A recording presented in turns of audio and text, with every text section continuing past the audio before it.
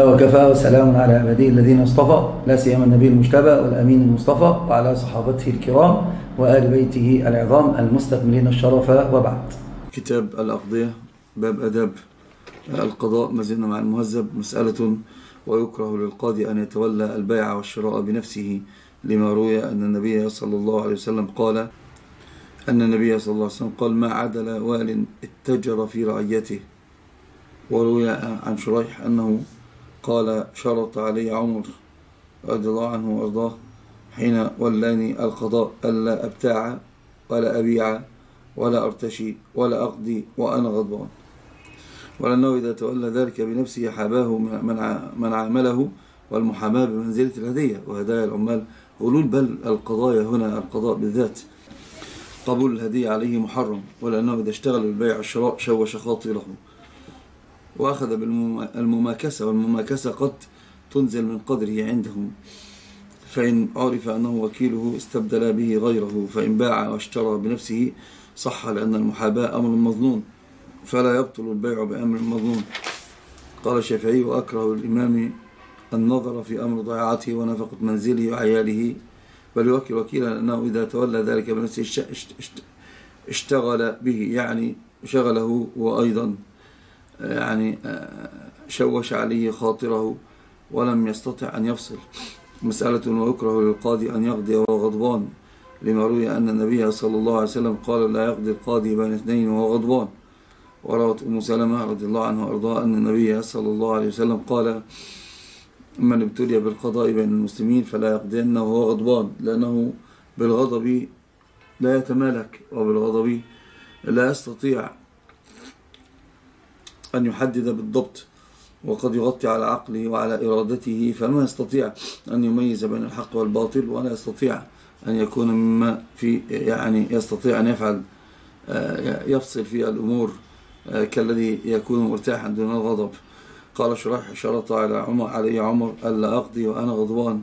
وكان شريح إذا غضب قام ولم يقضي ولأن الغضب يغير العقل والفهم وذلك يمنعه من الاجتهاد ويورثه النسيان. ويكره أن يقضي في كل حالة تغير, تغير فيها حاله ويتشوش فيها فهمه مثل أن يصيبه الجوع الشديد أو العطش الشديد أو الغم الشديد أو الفرح الشديد أو النعاس الغالب له أو كان يدافع الأخوتين أو بحضرة الطعام ونفسه تتوق إليه. لما روي أن النبي صلى الله عليه وسلم قال لا يقضي القاضي وهو غضبان ولا مهموم ولا مصاب حزين ولا جائع. يلحق بذلك إن كان رأى ما يشوش عليه يريد امرأته فأيضا إن كان كذلك فلا يقضي. وحكي أن الشعبي كان يأكل مع طلوع الشمس فقال أخذ حلمي ثم أخرج إلى الحكم ولأن هذه الأشياء تمنع من التوفر على الاجتهاد. فشوشت على العقل فإن تشوش على العقل فلا يستطيع المرء أن يفصل بين الأمر مسألة ويستحب أن يقضي في مكان بارز للناس ليصل إليه كل أحد ويستحب له أن يكون في الموضع واسعا أو يكون الموضع واسعا لئلا يلحقه الملل والضجر من ضيقه فيمنعه من توفر الاجتهاد. المهم أن كل ما يشوش على عقله وعلى فكره وعلى ذهنه عندما تأتيه المسائل ليفصل فيها. لابد من لابد من قطعها لأن التخاصم والتنازع يحتاج فيه المرء أن يكون يحتاج فيه المرء أن يكون أن يكون يعني ذا بصر نافذ وعقل وانقداح ذهن من أجل أن يفصل في الخصومة. ويستحب أن يكون بقربه ما يتأذى به من دخان أو رائحة منتنة وما أشبهه لما روي أن عمر بن الخطاب رضي الله عنه كتب إلى أبي موسى الأشعري إياك والقلق والضجر. لأنها تشوش على العقل والخاطر ولذلك لا يستطيع المرء أن يفصل بين المسائل. وهذه الأشياء تفضي إلى الضجر وتمنع الحاكم من التوفر على الاجتهاد وتمنع الخصوم من استيفاء الحجة. فإن حكم في هذه المواضع المكروهة صح حكمه ما دام بإرادته وقواه. كما صح في الغضب. فرع ويكره للقاضي أن يجلس في المسجد للحكم وبه قال عمر بن المسيب. طبعا لتعظيم شعائر الله في المساجد ما, ما ليست ما بنيت لذلك لأنه ستعلو الأصوات وتكون الخصومة ويكون فيها ما فيها كما قلنا من اللغط ومن الخطأ آه، خطأ المتخاصم على أخيه في هذا الباب. تعلمون عند عند الخصومة قد يحدث ما يحدث. والمسجد يجل عن ذلك. قال الشعبي ومالك وأحمد وإسحاق لا يكره عن أبي حنيفة روايتان. إحداهما يكره والثانية لا يكره إلا في المسجد الأعظم. دليلنا ما روى معاذ أن النبي صلى الله عليه وسلم قال جنبوا مساجدكم صبيانكم وجنينكم ورفع أصواتكم وخصومتكم وحدودكم وسل سيوفكم وبيعكم وشراءكم. وهذا حديث ضعيف. حديث لم يصح. وإن كان المعنى فيه صحيح. وروي أن النبي صلى الله عليه وسلم سمع رجل ينشد ضالته في المسجد فقال له النبي صلى الله عليه وسلم لا وجدتها بل في رواية قال لا رد الله عليك ضلتك. إنما بنيت المساجد لذكر الله جل في علاه. وأنه قد يكون في الخصوم ما لم يكون اللبس في المسجد كالجنوب والحائض وغير ذلك فإنه ممنوع من دخول المسجد ممنوع من المكث في المسجد وأن يبيح له للضرورة المرور فقط.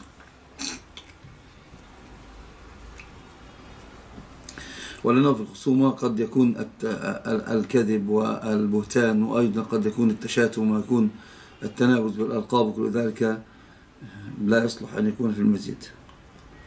فإن دخل الحاكم المسجد للصلاة أو الإعتكاف أو كان ينتظر الصلاة فحضر خصوم لم يكره له أن يحكم بينهم لما روي أن عمر بن الخطاب رضي الله عنه وارضاه حكم بين الناس في المسجد. أيضا حدث ابن أبي حضر وكعب بن مالك تعالت أصواتهما وإنسان كشف الستار ستار الحجرة.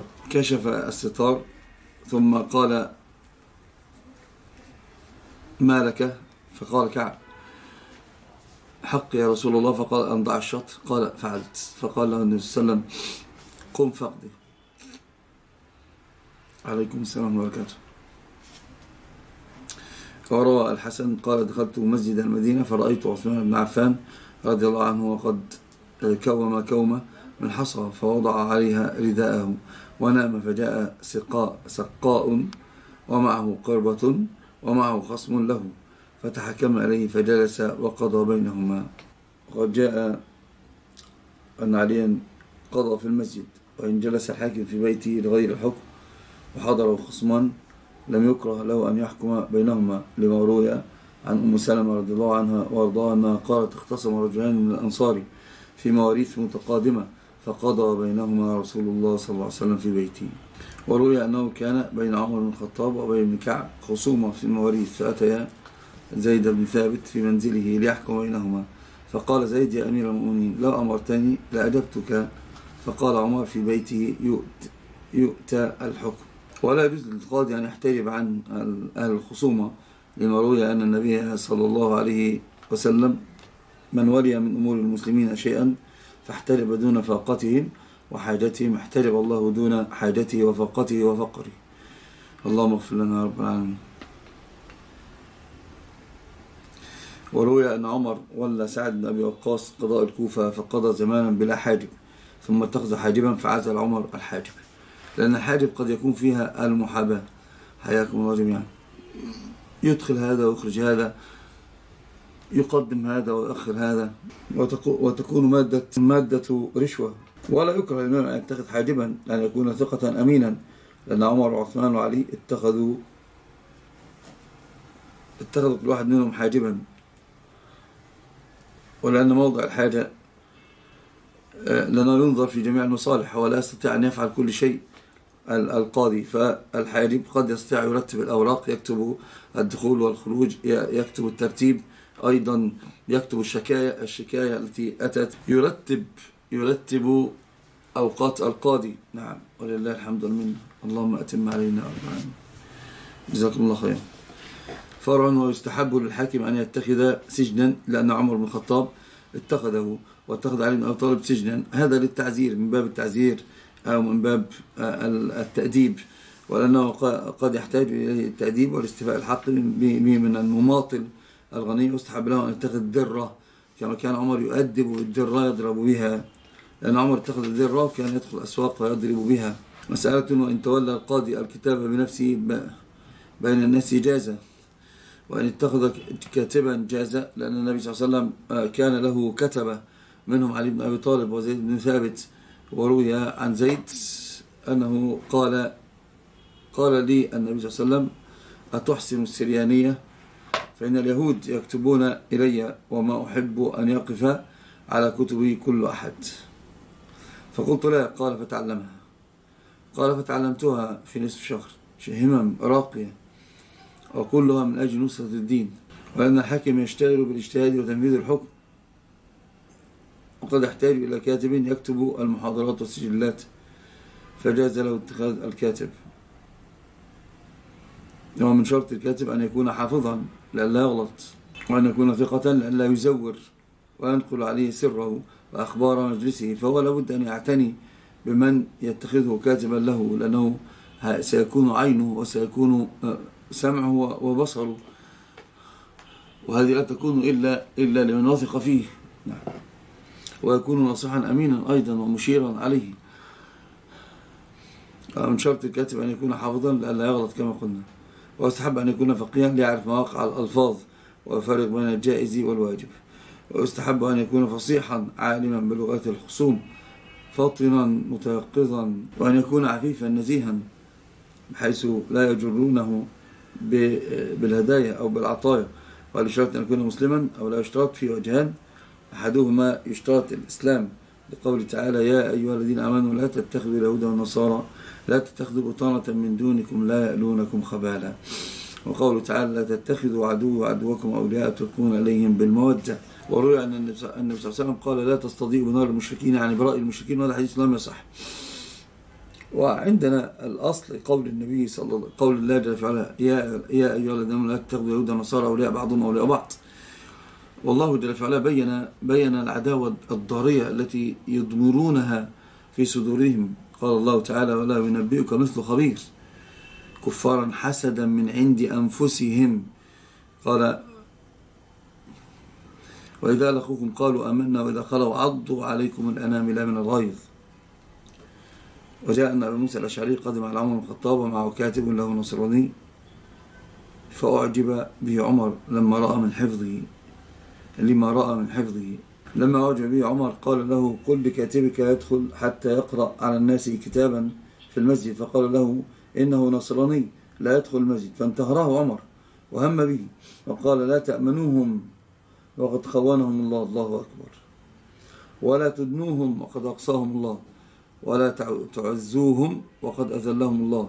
ولأنهم أعداء المسلمين فلا يؤمن أن يكتب ما يبطل به حقوقهم. فعلى هذا لا يجوز أن يتخذ كاتبا فاسقا. والثاني أن ذلك ليس بشرط بل هو مستحب والصحيح هو الأول. ولا يجوز بحال من الأحوال أن يتخذ كاتبا كافرا أو نصرانيا بل ولا فاسقا.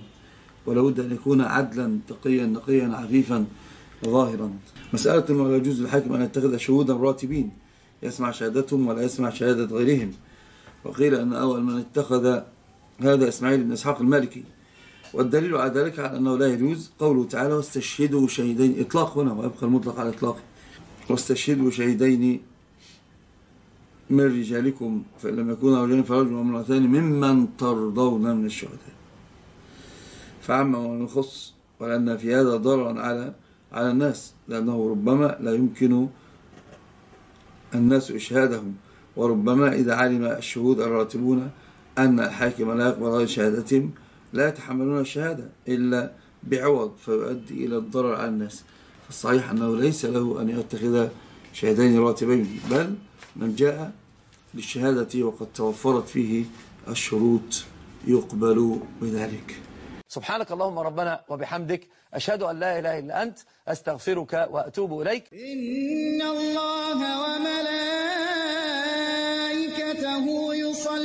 يصلون على النبي. يا أيها الذين آمنوا صلوا عليه وسلموا تسليما.